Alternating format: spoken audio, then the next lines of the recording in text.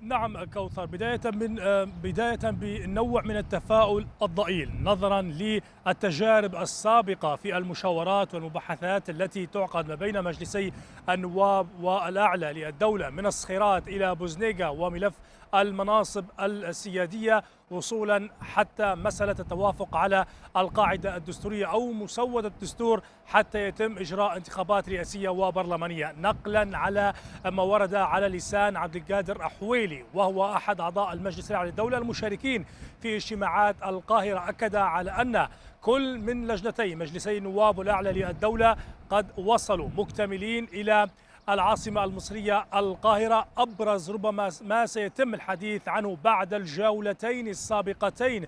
والحديث الآن كله مرحل للملف أو للنقاط الأكثر تعقيدا أي مصدر الخلاف. بداية كوثر نتحدث عن شروط الترشح للانتخابات الرئاسية. أيضا نتحدث عن نظام الحكم شكل الدولة بالإضافة كذلك لبعض الأمور المتعلقة بحقوق الأقليات. هذا الأمر ما ينتظر لجنتي مجلسي النواب والأعلى للدولة في هذه الجولة الفاصلة والحاسمة والتي تنطلق اليوم وتستمر لخمسة أيام. ربما فقط ما يعول عليه بشكل كبير بشكل كبير الليبيون الآن هو الضغط الأمريكي فيما يتعلق بمسألة ضرورة التوصل لاتفاق وكذلك على وجوب إجراء الانتخابات.